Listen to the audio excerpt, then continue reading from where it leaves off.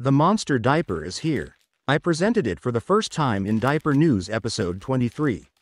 Now it had to prove in this practical test whether the title is deserved. What surprised me positively about the modern looking, printed packaging was how easy it is to open. You can tear it open with your fingers, without scissors or other aids. This is very convenient and unfortunately doesn't work with many other packs. Another plus point is that they are not pressed too tightly into the pack and are therefore easy to remove. From the first impression, it looks thick, which is confirmed by the measurement on the scale. At 241 grams, it is one of the thickest diapers tested to date. On the outside, it has a very boldly colored print on the adhesive zone, which extends almost to the end of the side wings. The rest of the diaper is also printed, but more discreetly with fewer colors and not as bold. The inside is white with a blue absorbent core, as you would expect from ABDL diapers. The high side protection is also standard to prevent leakage. It also offers space for booster pads to increase absorbency. It has plastic adhesives that can be closed again. Not indefinitely, as would theoretically be the case with Velcro. But it's usually enough, because you don't have to re-glue a diaper 100 times. But perhaps once or twice when it gets fuller and therefore fits less well. That's not a problem here. The adhesives are remarkably easy to remove and stick together. Even if they are opened after a while, you don't have to use as much force as with others. At first it seems as if they are too weak.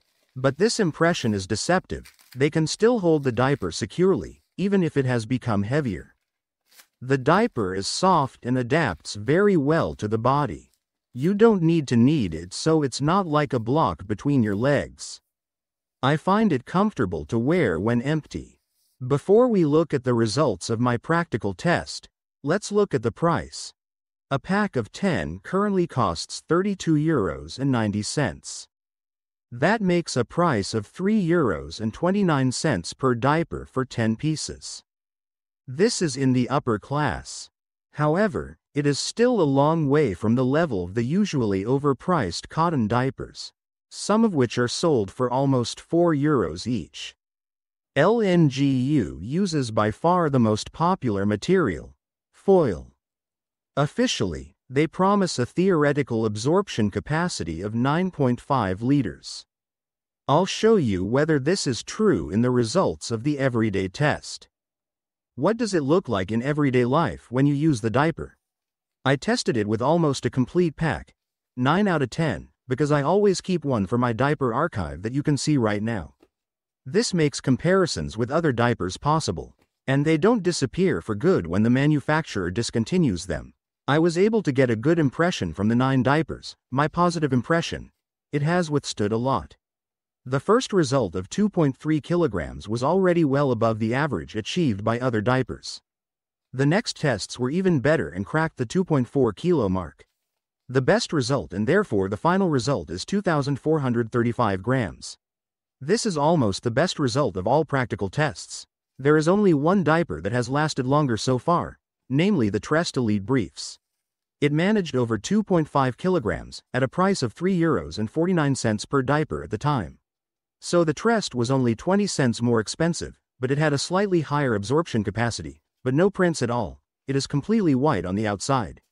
And that's only half the truth. The Trest test is from October 2022, so almost exactly two years old. In the meantime, the manufacturer has increased the prices so much that Diaper Minister has removed the diaper from the range. This puts the price of 3 euros and 29 cents for a colorful, high-quality diaper that is also comfortable into perspective. Things look different when you look at third place. The Little Rascals V2 performed only minimally worse than the new LNGU but they cost 2 euros and 69 cents each. In comparison, the LNGU is over 22% more expensive, but only offers around 7% more capacity in practice. This extra charge is therefore disproportionate purely for the suction power. However, this is relatively normal and not a peculiarity of diapers. With other products, too, you often pay a comparatively high premium for the best and fastest in order to be a few percent better. One example is processors. Here you will usually come to the sober conclusion it's not worth paying hundreds of euros more just to make it a few percent faster. The slightly cheaper one is fast enough for many things. When it comes to high absorption performance at a low price, LNGU cannot score points. Other diapers offer more for the money. However, there are other reasons that speak for or against a diaper. For example, the design. We have hardly talked about this so far. The new LNGU is printed with baby dragons, of which there are four different designs in total. Each pack contains them alternately, similar to what other manufacturers do with this strategy. One of the best known examples is probably the PeekABU. Not only are there different dragons, they are also in different environments. This is supposed to be an allusion to the motifs of video games. Alternatives such as the Little Rascals V2 are also printed, but with different motifs.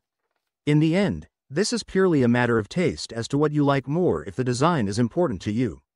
LNGU has taken a big step forward in its own portfolio with this diaper.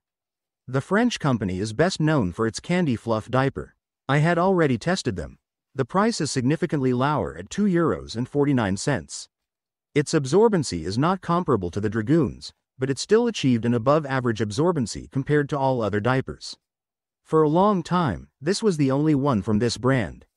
An increase of almost half a liter between these two diapers from the same company is remarkable.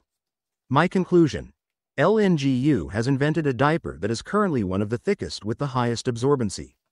It is also soft and comfortable, nothing bothered me during the test. The only sticking point is the price. This doesn't seem to be down to the manufacturer. Other brands charge a similar amount for the thickest diapers, sometimes even more. If that doesn't put you off, you'll be satisfied. Otherwise, there are alternatives. Take a look at the videos in the margin. Stay dry until the next video.